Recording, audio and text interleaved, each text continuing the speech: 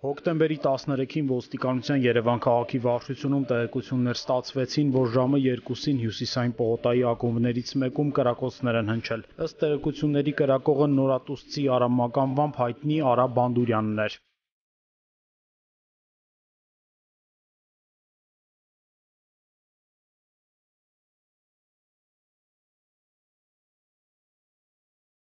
Ոստիկանության կենտրոնական բաժնի քրեական հետախույզների ձեռք բերած ակումբը տեսահսկող սարքերի ձայնագրություններից պարզվեց, որ Բանդուրյանը կոպիտ կերպով խախտելով հասարակական կարգը, ակումբի աշխատակիցների եւ հաճախորդների ներկայությամբ իր մոտ եղած դեռևս չպարզված ատրճանակով 3 անգամ կրակոցներ է արձակել։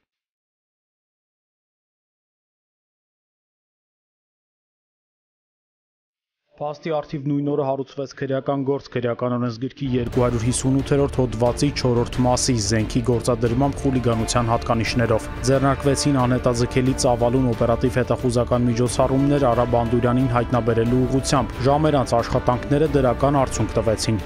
ձեռնարկված բացատրական աշխատանքների շնորհիվ